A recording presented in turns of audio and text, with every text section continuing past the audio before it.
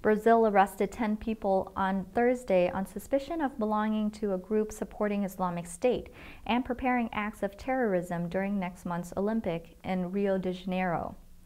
The loosely organized group were all Brazilian citizens and in contact via internet messaging groups such as WhatsApp and Telegram, but did not know each other personally. The group did not have direct contact with ISIS, though some of its members have made pro forma declarations of allegiance to the militant Islamist group. Justice Minister Alexander Moraes described the group as an amateur cell with no preparation at all and was very disorganized, adding that authorities decided to intervene when the group started planning actions.